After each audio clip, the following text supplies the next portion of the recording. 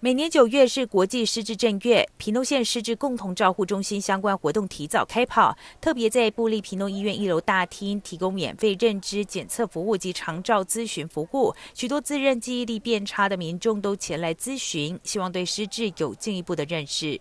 就是看看说，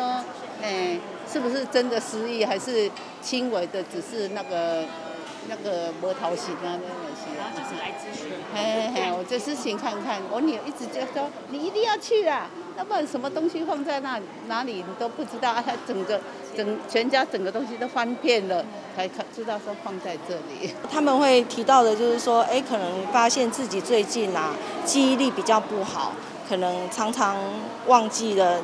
家人交代的事情，马上就忘记了这样子，然后可能一下子也想不起来，或者是说，哎，家里有长辈，那就是会有一呃，比如说一直找他的一些重要文件，比方说呃存折的部分，建议他可以看我们的神经内科或身心科的医生去帮他们做一个呃诊断治疗这样子。随着台湾迈入高龄社会，罹患失智症的人口也越来越多。医学上有 AD 八及早期失智症筛检量表，用来筛检出早期失智者。平东医院神经科医师林勋章表示，很多人以为年纪大了自然就会健忘，因此忽略失智症的早期征兆。其实失智症是一种疾病，若及早发现，让专业的医疗照顾资源介入，可以延缓失智症的症状。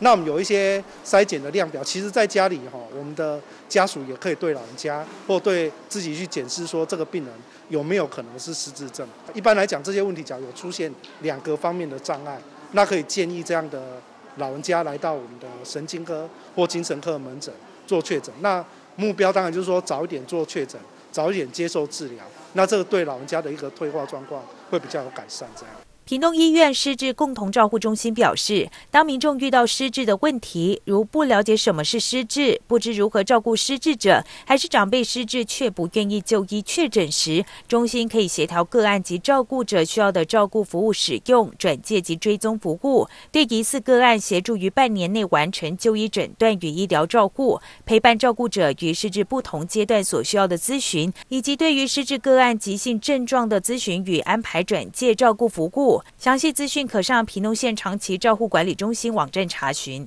记者张如杨正义采访报道。